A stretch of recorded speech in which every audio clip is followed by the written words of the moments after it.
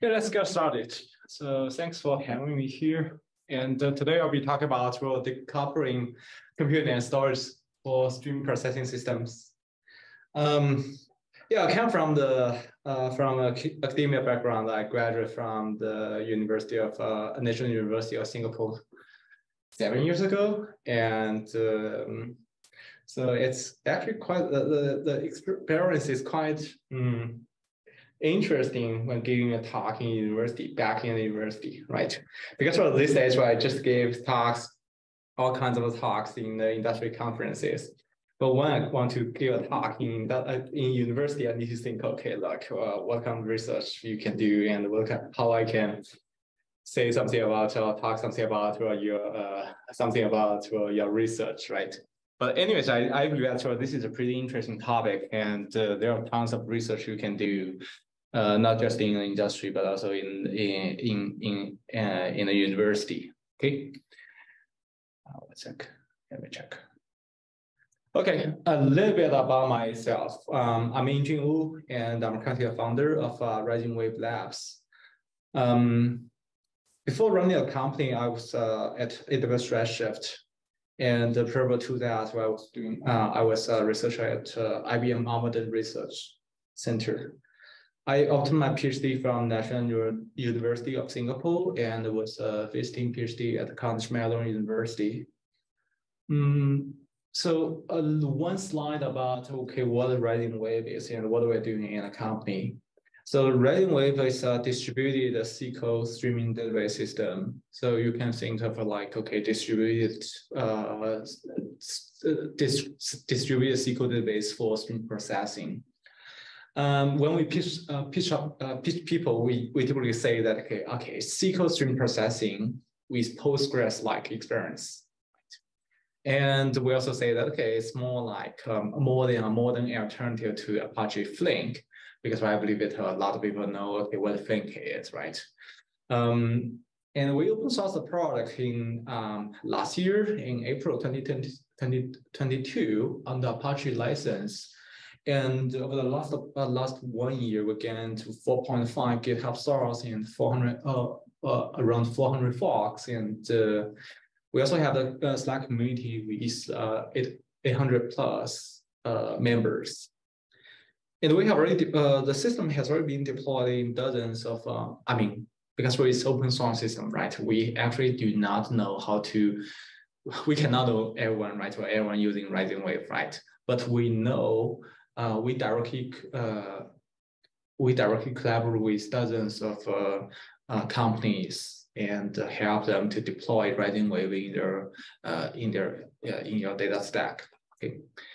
And but we do track the daily download and daily deployment, the Kubernetes deployment. So we have hundreds of daily downloads. Yeah. Um, so that's the open source deployment map uh, as of uh, this month. Okay, you can see that, okay, we actually get a lot of traction. I don't know why, but we actually get a lot of traction in Europe. So we don't really have any entity in Europe. That's kind of interesting.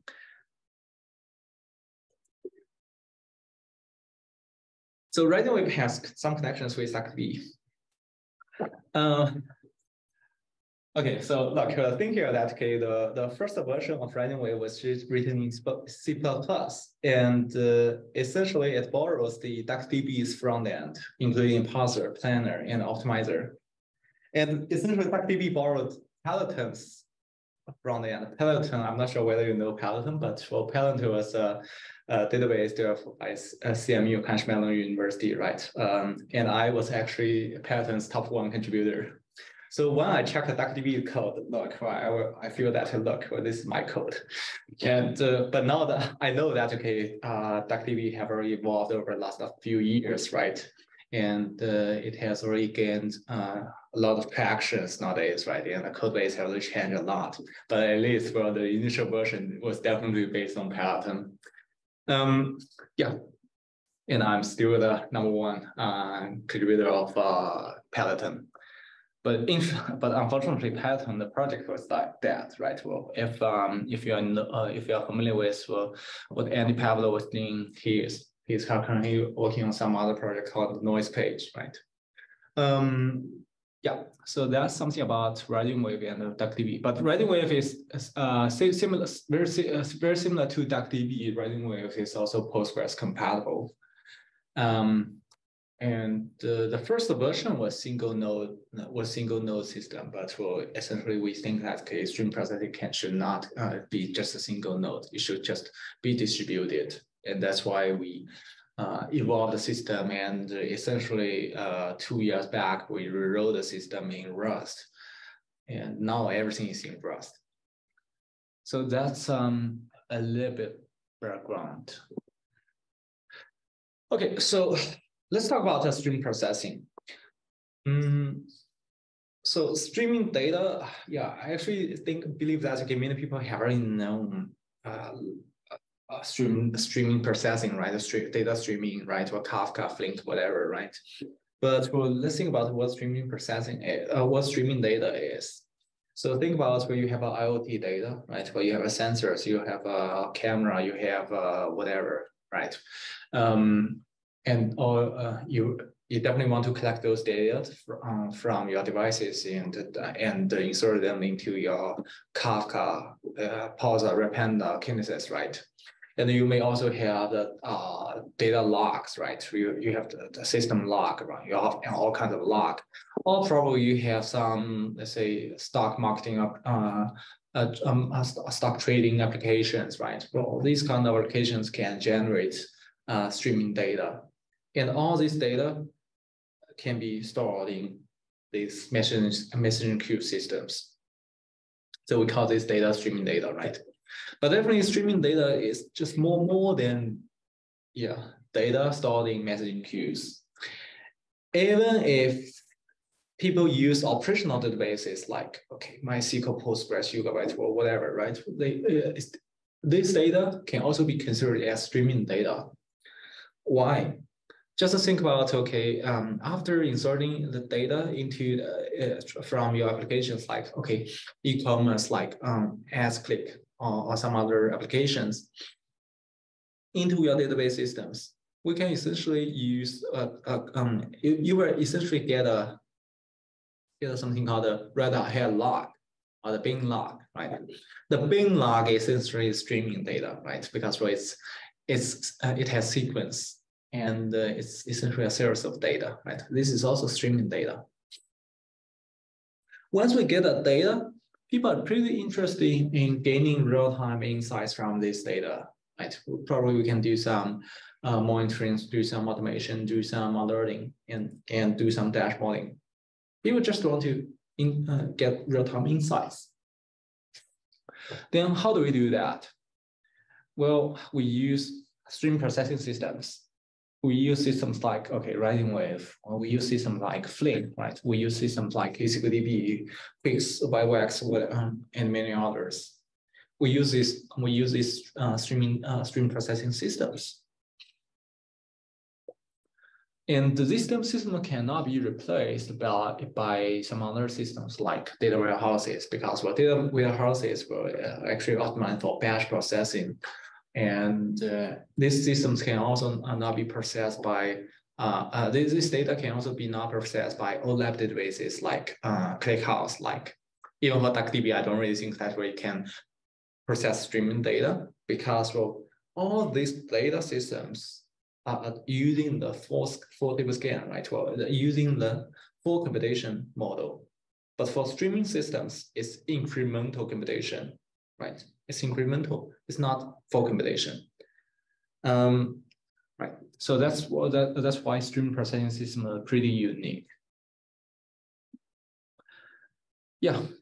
To to summarize, well, the streaming systems are a system that can continu continuously ingest the data from the upstream systems like Kafka, like like your applications like your RTP databases, do transformations and optionally deliver the result into downstreaming systems. And that's stream processing systems. And one of the most important uh, feature of stream processing system is to uh, process stateful operations like joins and aggregations, right? There are many more other stateful uh, operations like window functions like yeah, group I, right? Well, but but I just want to mention, okay, drawing aggregations, right? these these two operations are pretty are pretty popular and are pretty common in real world use cases. Yeah, just think about well, you if you want to do an ad monitoring, right? You want really want to draw the ad impression and ad, ad clicks, right? If you want to do server, uh, server anomaly detection, you really want to join TCP performance metrics and the dealer monitoring metrics, right? And for this, for the financial risk control, you really want to join the um, user traction data, uh, user transaction data, and user risk rating data, right? These are all joins. These are all stateful operations, right? Stateful, managing stateful operations, uh, supporting stateful applications are pretty challenging in the stream processing systems. Why? Because first, well, the computation logic can be quite complicated, right? Think about, okay, if you want to join 10 data, 10 data streams, right? It's kind of 10 we join. How to handle it, right? Yeah, even in DuckDB or in in ClickHouse, right? I don't, I don't know whether they can handle, let's say, joining dozens of data streams, right? I still remember that well, a long time ago, there was a paper called joining a thousand, a thousand data streams, right? I forgot who wrote the paper, but for definitely uh, join is one of the most important and most complicated um, applica- uh, uh, uh, operations in the uh, in in database systems. But and different from the uh, but different from the conventional database systems for, for streaming data for streaming database systems, streaming data workload can fluctuate, and this brings more more complications and why? Because for the if the workload fluctuates, it means that you actually have to adapt the system to the workload. Right? That's kind of that's kind of complicated. Most of the existing stream processing systems actually unfortunately fail to support stateful computations efficiently, right? So definitely I, I, I highlight efficiency efficiently here because well, well, if you do not care about efficiency, if you have an unlimited resource, definitely, I mean, you can probably do that. But if you're talking about efficiency, unfortunately, these databases cannot, these streaming systems cannot achieve that. And they will either be too slow or directly crash. Why it can crash, or I will talk about later, but because, okay, there may be states, right, internal data internal states and the states can grow and you may hit hit a hit a hit a memory limit and you crash out of memory, right? It's kind of common. So yeah, let's talk about and let's talk about okay how to uh, the, the, the why stream processing is challenging in details. Let's just consider joining two data streams. One is the impression stream and the other one is click stream. If we want to join these two streams, streaming data, okay, streaming do stream joins, then what do we need to do? Essentially, we need to maintain two states, right? One is the state for the uh, one is the hash table for the impression stream, and the other one is the hash table for the click stream. And we we we and and we need to manage these states in a certain way so as to support a streaming application. So imagine that you now you have the two, these two states. Every time a new tuple comes in from the impression stream, we will need to check okay whether it's a uh, whether it's a match in the in the uh, in the hash table for the click stream. If there's a match, we emit a result, we emit output, right? And similarly, if there's a if we if there's a new tuple comes in into the click stream, then we need to check okay whether it's a match in the hash table for the impression stream. If there's a match, we deliver the output, right? The thing here that, okay, the key challenge here that how to manage these internal states. Well, we can definitely manage these internal states in memory or in your local disk. But the problem here that, okay, as I mentioned, for streaming data, for streaming processing, the workload can fluctuate. If we see that, if we see more data comes in within, let's say, a, a certain period of time, then definitely the state size will grow, right? If the state size grows, then probably you need to swap the data from your memory to your, your, your local disk. But if the state, uh, if, if the state uh, keeps growing, unfortunately, the system may crash, right?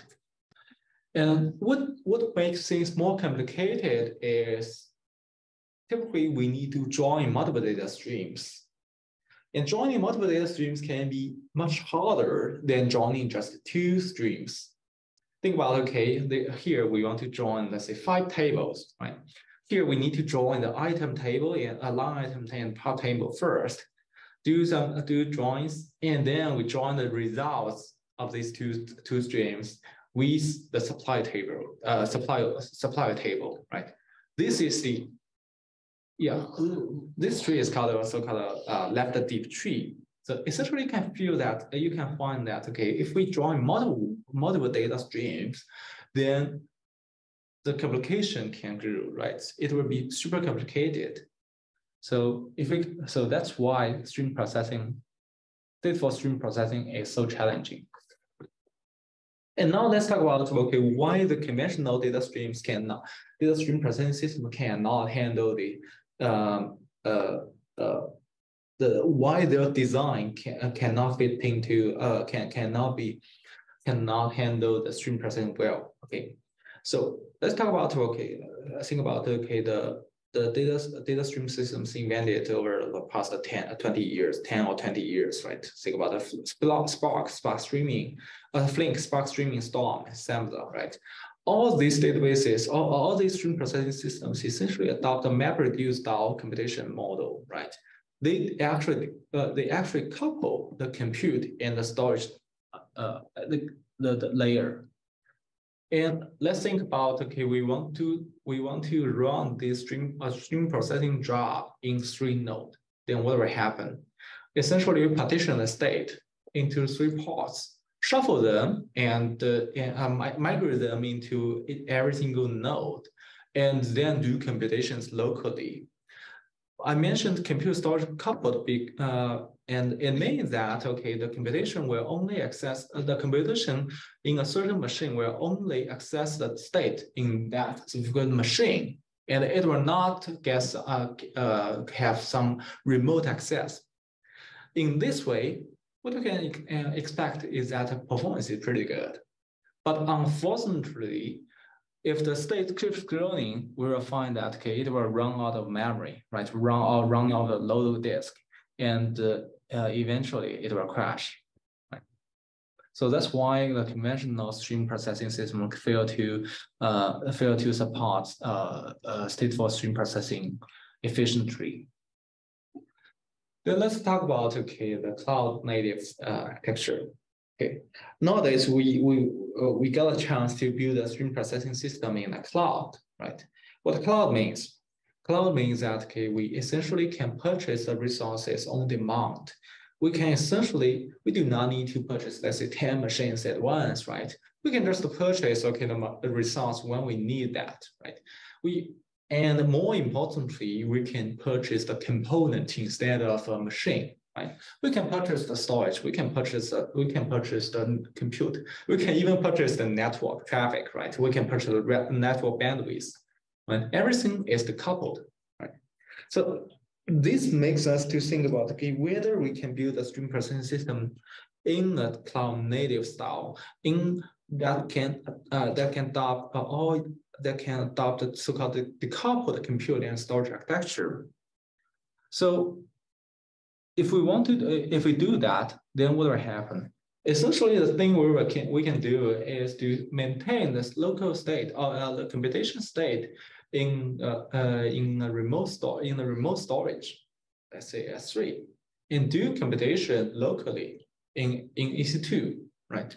This is pretty standard, and if the computation, if the compute, if the internal state grows, then we do not need to do anything because for S3, it's um it's elastic, right? It can scale in and out on, uh, based on the based on the volume, and we do not need to we, we do not need to control it. We do not need to shuffle it, or we do not need to partition it, right? It will grow infinitely and grow and all shrink infinitely, right? And what if we run out of compute resource? Well, simple. We can just add more machines. right? And the machine can, it's every single machine can access the access the remote storage, right? This is pretty simple. So if we adopt such kind of architecture, then the, uh, doing stateful computation can be so uh, can be pretty straightforward and simple and straightforward. Let's go back to the this case. We're drawing two data streams: the impression stream and the click stream. What we can do here, I mean, with the with a decoupled compute storage layer uh, architecture, essentially we're put a state in the remote S3 and uh, as I mentioned, well, if there is a workload, uh, if there's a workload fluctuation, the state grows bigger. Then what will happen? We do not need to do nothing, and we do not need to do anything because, for anyways, the state is maintaining S3, and S3 will handle everything. And I just mentioned if the if we run out of compute resource, then nowhere is just add more EC2 instances, right? So uh, yeah, so that's that's how the that's how the decoupled compute and storage model works. And the decoupled compute model uh, doesn't really only affect the uh, the execution, but also affect elastic scaling and the in the failure recovery. Yeah, this is a comparison of the uh, of the of the MapReduce uh, compute storage coupled architecture and the so-called compute storage storage coupled architecture. Let's see how these architectures can do uh, handle uh, can handle failure recovery and elastic scaling. So, in the stream processing system, one of the uh, one of the key uh, one of the key feature we need to support is to support failure recovery. Right? It's different from the different from OLAP databases such as okay DuckDB or, or ClickHouse. Streaming stream processing systems need to ensure that okay, it's, it can always recover from failure and recover the computation. Why? Because well, for DuckDB and or probably ClickHouse, right? Well, if the system crashes, then you can just reboot a, uh, reboot the system and rerun the query. But in stream processing systems, since the computation is continuous you cannot just recover the system and restart the, restart the computation from the very beginning. That's not possible. And because what if the users have the uh, uh, uh, needs to process, let's say, seven days data, right? It's not possible to to uh, wait for seven days uh, to recover, right? So what do we should do? We should do checkpointing we should periodically checkpoint local state to the remote storage so that okay, if node fail, then we can recover from the from the from the last uh, latest checkpoint, right? For the coupled computer, uh, for coupled computer storage architecture like Flink, like some uh, Spark Streaming, what they all they do is to periodically checkpoint the state in compute nodes into the persistent layer, persistent storage. That's what they did. But in, in uh, cloud computing and storage decoupled architecture, the thing will be totally different. Essentially, as I mentioned, the state is, is maintained in the remote storage such as uh, S3, and S3 is a persistent storage. So in, because of this, essentially we can treat the state as a checkpoint right? We do not need to, uh, we do not need to have a, a checkpoint periodically. We can essentially use the state as a checkpoint. So what it means, let's think, think about okay, a node failed. If a node failed in, uh, if a node failed, uh, what uh, in in the compute and storage coupled uh, with with compute storage coupled architecture, what we will do is we will put another machine, reload the state from the latest checkpoint. And after, re after reloading, we can restart the computation, right? So there will be a downtime. What's a downtime? Downtime is, uh, is from the state crash, uh, the, the machine crash to the, the state is fully reloaded. Because if the state is not fully reloaded, then we cannot do computation. We cannot uh, continue the computation, right? So that's a downtime. So what about the compute storage decoupled architecture? Well, with this architecture, everything becomes simple because as, as I mentioned, the state is a checkpoint. If a node failed, then essentially we can put another machine and ask that machine to directly load the state from the access the state from the remote storage, and there will be no downtime. Why, why there's no downtime? Because again, the state is maintaining S3 and uh, and the state is always there, right? It's not, it never get lost, right? So we can we can just manipulate it. The the only the only trade-off is that for the first few accesses, well, because it's load from S3, it can be slow. That's possible, but there will be no downtime, right? Then let about let's think about uh, elastic scaling. So elastic scaling is pretty similar to failure recovery. Um, essentially, we can use exactly the same model, right? Think about what the, uh, and let's think about, okay, how we can scale from one machine, one of the machines to three machines, right? With, with compute storage coupled architecture, what we can do is that we can essentially partition the state in a local machine into three pieces and put both three machines migrate the migrate state in these three machines and and and do the uh, do do uh, do the migration, do the workload migration, right? And right, we transit the workload from one machine to three machines, right? That's that's how the computer storage coupled architecture uh, uh, handle uh, how that architecture handles elastic scaling. The problem here is that okay, the implementation can be pretty tricky and uh, because well, we first we need to think about okay how to migrate the state, right? And there will be some consistent issues if you're if you're familiar with the state migration, uh, if you're familiar with the the state migration or the other data migration problem. And second, uh, there will be actually a downtime, right? Or, or the or the scale uh, or the elastic scaling is not transient. Well, it takes time to scale out, right? Why? Because well, you have to load state from one machine to three machines, right? But with the compute and the storage, the comp model, everything got changed. Essentially, we can just load three machines and ask these three machines to load state from the S3 as from the persistent storage, right? And we do not need to care about the previous machine because, well, anyways, we only hold, hold the cache right? Nobody cares about cache, right? If the crashes, then crashes, right? We do not to care about the cache. So that's how the elastic scaling will, uh, will do, right?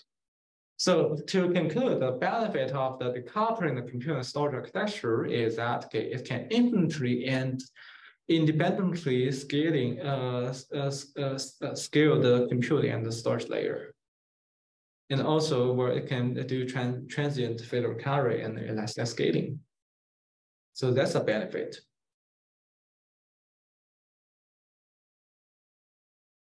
So until now, everything looks good, right? The problem here that for the everything looks too good because well, there's no so seems that well, there's no trade-off, right? So it doesn't really make sense, right? So if you build a system, you should know that well, okay, if you only find have one benefit, then there must be something wrong, right? So yeah, definitely. I believe that also you, we have we have so many problems about what the the so-called what the, the coupled computer storage architecture.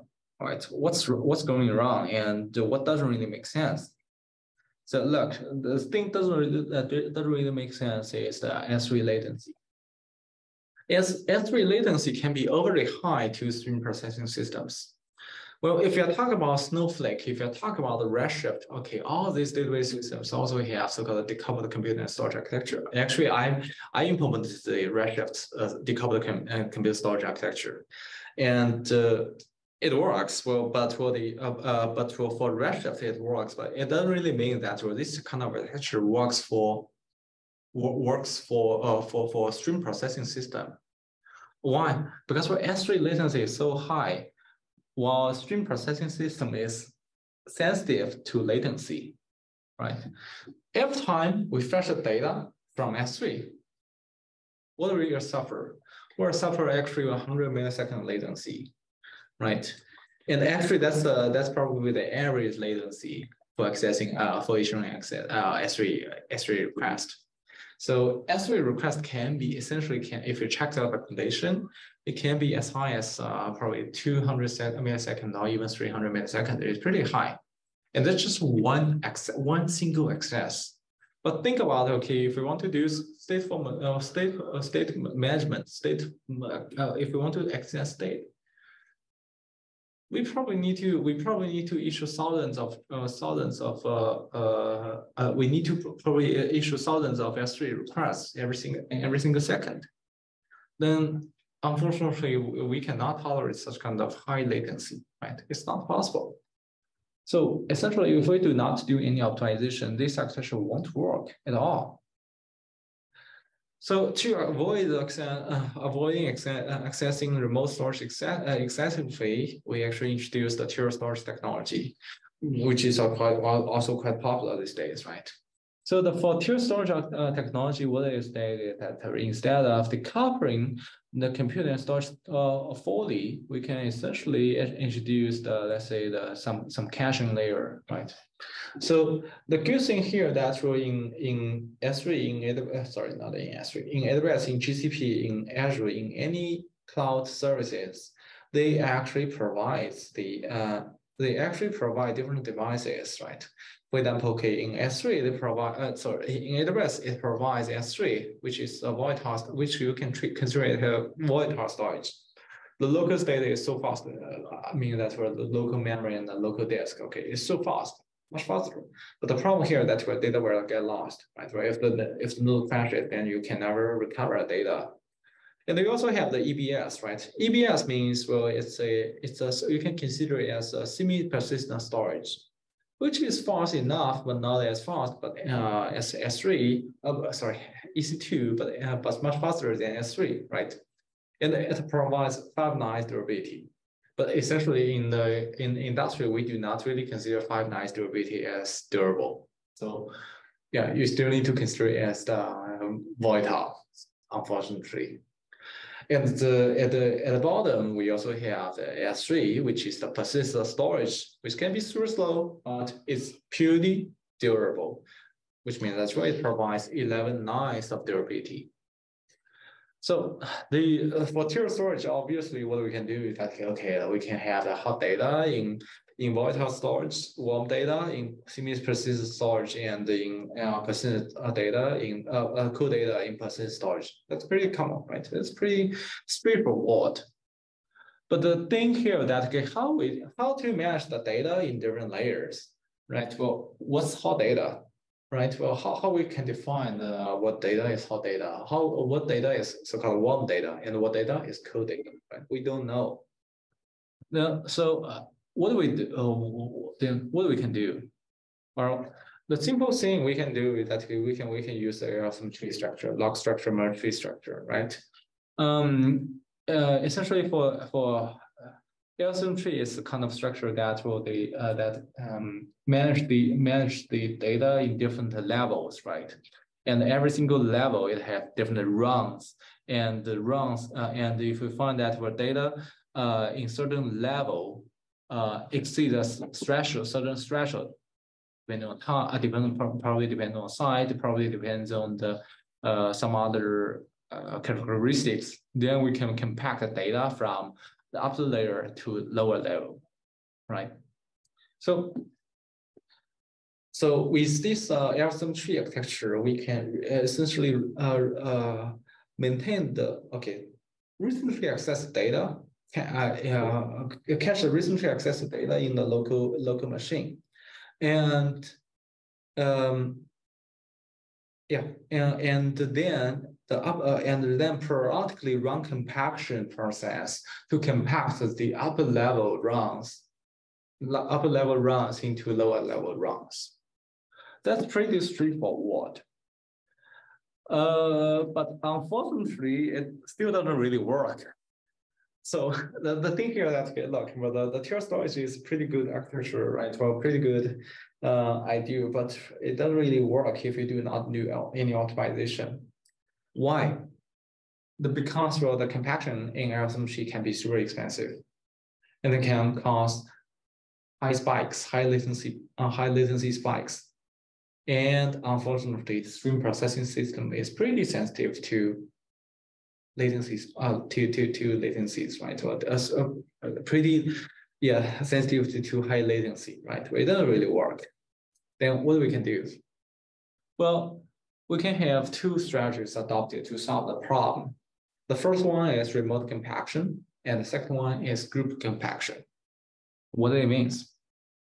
For remote compaction, so why would you, uh, the compact, what's the problem with local compaction?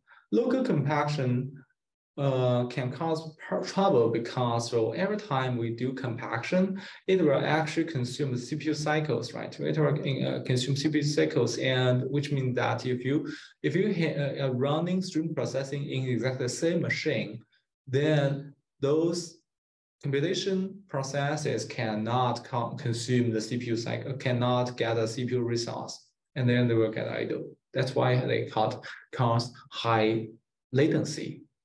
But if we do remote compaction, which means that okay, we create a, a separate EC2 instances and do compaction in that machine, then essentially we can offload the compaction. Uh, well, we, we, we can uh, we can get additional CPU. Essentially, that means that we need to get additional CPU resources to do the compaction, right?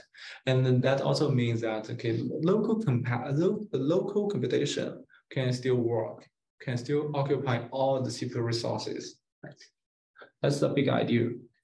And definitely the uh, definitely sometimes we also find that okay, uh, using EC2 instances can be pretty uh, can be uh, pretty pretty pretty expensive, right? In some cases, right? Then what we can do? The uh, the other option or the other strategy we can do is that essentially we can think about we, we can think about using the lambda function. So lambda function is purely serverless and is purely charged based on the I mean usage, right? Essentially, we do not need to create dedicated EC2 instances in the in the cloud environment. And uh, we can essentially use the Lambda function to process compactions in a serverless way. And that's remote compaction. And the second compaction strategy we use, uh, uh, second strategy we use to optimize compaction is called group compaction. So what it means, look, uh, in stream processing, well, in, in any database systems, well, if you run a query, it should not just be uh, have just one operator, right? Typically, it will have several operators, right? Let's say that okay, in in the streaming a stream a streaming query, you have both the aggregation and and the uh, aggregation and the join operators, right? both streaming operators and join operators can use uh, uh, both streaming operators and can uh, both streaming operators and uh, uh, uh, sorry both join operators and the group by operator or aggregation operators need to maintain their own state, right? And the compaction can happen at different time. But the problem here that way, if it happens different at a different time, even if we use remote, even if we use remote compaction, it can actually it can actually consume the network bandwidth, right?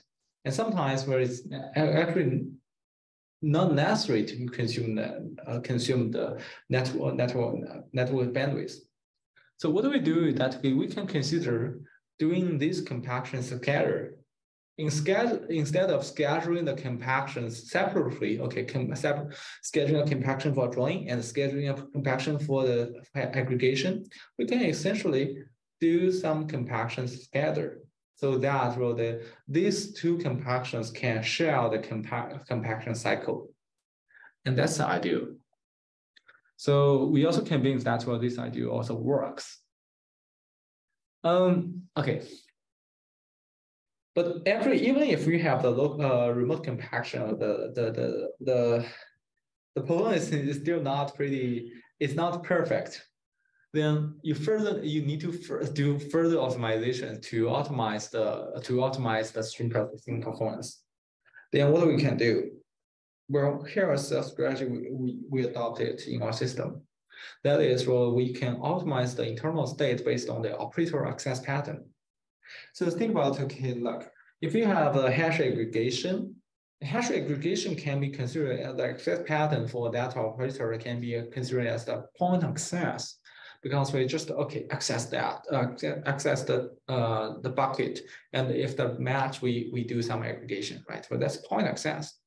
But for hash aggregation, because we have so many buckets and every single bucket may have tons of, may have dozens of uh, Uh, uh, uh, tens of thousands of or hundreds of even thousands of, of tuples, then essentially it's a kind of range scan. So these two operators actually actually have different access patterns. So essentially what we can do is that we can optimize the internal state architecture for each operator, right? So that's the optimization we can do. So to summarize, well, the remote uh, the uh, the limitations of the uh, the limitation of the decoupling storage and compute architecture is that remote storage can access, access can incur pretty high latency, causing unpleasant user experience. And we, we can definitely adopt a tier storage to solve the problem, but it, only solves the partially solve the problem. And further optimization is need, uh, needed to to uh, yeah to to minimize the cache miss rate and to mitigate the uh, latency spikes. Well, cool. Actually, beyond uh, actually in stream processing systems, there are many other operate, uh, optimizations we can do to further optimize the performance, right? Um, beyond the compute and storage coupling architecture, we can consider the join algorithms. As I just mentioned in the first few slides, here, if we want to join five tables, five streams, right, we can actually, uh, we will actually generate the optimizer may generate a left deep tree. And here the uh, we join five tables and uh, here the depth is four is four, right? The tree is so deep that uh, that that it can cause high latency because we need to join the first two streams together and then join the next stream, join the result with the supplier, and then join the result with power uh, supply, and then join the results with high uh, orders, right? The tree is so deep and can cause high latency. Then what do we do? What we can do? So what do we do in our system is that we always trying to we all we all we always try to reduce the depth. We we always try to uh, make sure that okay, we have a we have a, a tree of of, of uh, uh, uh, a lower tree, right? A, a tree with uh, with less depth, right? Yeah in, in the optimization, in all optimization, uh, optimizer, we always try to generate a bushy tree instead of a left deep tree because a bushy tree will, will be will be shorter. Yeah. That's the join algorithms. Uh, that's the join algorithms the optimization, joint optimization uh, algorithms. And the other thing we have the we we we think it's important, but we haven't uh, implemented is the joint query optimization. Why streaming why streaming join is so uh, so so challenging? Well, uh, not just uh, not just about okay managing a state, but also about okay look the the the work uh, the optimization, the customization, uh, the cardinality estimation the end workload fluctuation. We actually have no way in streaming systems, we actually have no way to precisely measure the cardinality, right? We can, in, in database systems, uh, I didn't really check the uh, DuckDB, but in database system, we actually can have uh, histograms. But in stream processing systems, because the streaming data is unlimited, you can hardly measure the cardinality, right? We can have, it's, it's so difficult. But essentially, you can actually, based on the workload, based on the workload, you can actually guess, okay, what a condition looks like, right? And then based on that, we can do query re-optimization. And that's something we believe that is pretty interesting to investigate.